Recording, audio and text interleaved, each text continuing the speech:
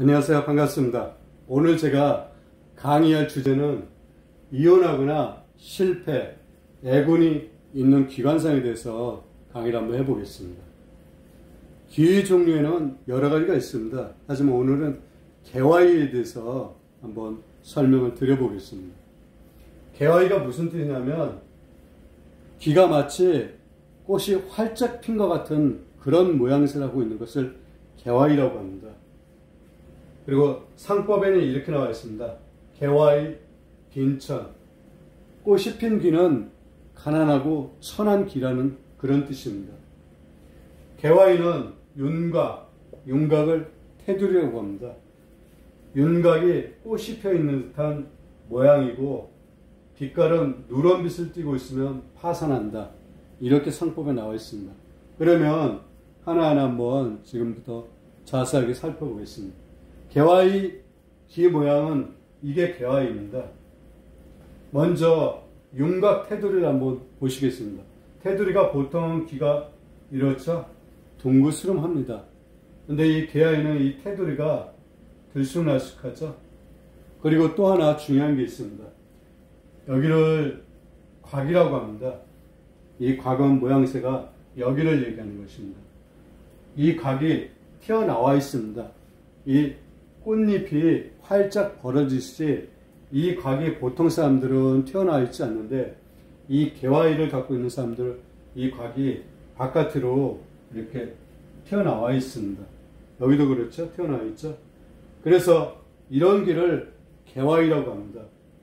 그리고 개화이가 누런 빛을 띠고 있으면 파산한다고 했는데 그 이유는 왜 그러냐면 여기 한번 보십시오. 나뭇잎이 누런 색깔이죠? 가을이 되게 되면 나뭇잎이 누렇게 변해서 떨어지죠. 그러한 이치로 누렇게 색을 띠고 있으면 파산한다고 합니다. 떨어지기 때문에 파산한다고 그렇게 비유를 하는 것입니다. 그러면 실물로 한번 개화일을 한번 보겠습니다. 여기 한번 보십시오. 이 내곽이 이렇게 튀어나 있죠? 이런, 이런 길을 개화일이라고 합니다. 이 곽은, 내곽은, 이 내곽은 의학적으로 보게 되면 여기는 신경계입니다. 그래서 튀어나오게 되면 신경이 예민하신 분들이 굉장히 많습니다. 태어나지 않은 분보다 이렇게 태어난 분들이 성격적으로 굉장히 예민하다는 것입니다. 그냥 넘어갈 것도 쉽게 넘어가지 않는 그런 성격이죠. 그리고 이분은 배구 선수 이다영 씨입니다. 이다영 씨도 전형적인 개화입니다. 이 각이 튀어나와 있고 윤곽을 한번 보십시오. 테두리가 둥그스름하지 않죠? 들쑥날쑥하죠? 이런 길을 개화이라고 합니다. 이런 개화이를 하고 있는 사람은 이 제목에처럼 이혼하거나 실패, 애군이 있는 그런 기관상입니다. 이번은 누군가 하냐면 정유라 씨입니다.